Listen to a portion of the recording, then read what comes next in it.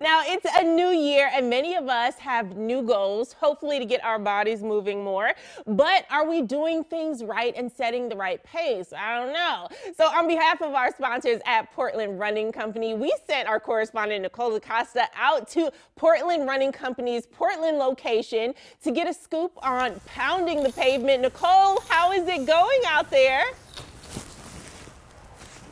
Oh, Ashley, good morning. It's a great morning, and it's always a great morning here in the Northwest for a run, for a walk, you know, with the help of Portland Running Company. Okay, we're getting stretched out here today. Dave Harkin, co-owner, and myself, we're making it a great morning today because it's a new year, 2023, and what can we do to start, you know, our fitness routine?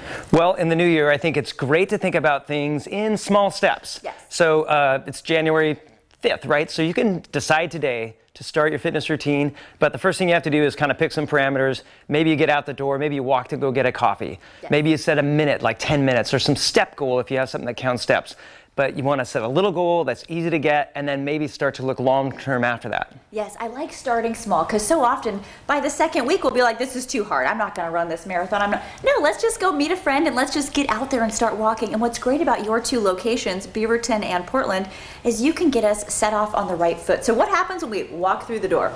Well, we want you to walk through the door Yep. uh, confidently, but we know sometimes it's a little intimidating. Right. So when you come in, we get up, we greet you, and if you can't say a single thing, we can still fit you in the right shoe. We want to watch you walk, Yes. see how your feet do, see how your knees do, but we also want to check on your injury history if you have a pattern of fitness uh, injuries or if you have some sort of experience with running or walking, we want to hear about that as well. And then we can match you up with the perfect shoe get you off your porch and out on the streets or onto a treadmill or somewhere in your neighborhood and get that first walk or run in. It feels so good. Honestly, after so many years we've all been cooped up, this is the year 2023 to get out, to start running, to start walking, and Portland Running Company can help. All right, everybody, look at your screen. PortlandRunningCompany.com has all the information. They're here to cheer you on. It's going to be a great year. Let's move our bodies, right? All right, it's Let's a great it. morning to do that. All right, we'll see you soon, Ashley. I'm going to teach you some moves when I get back.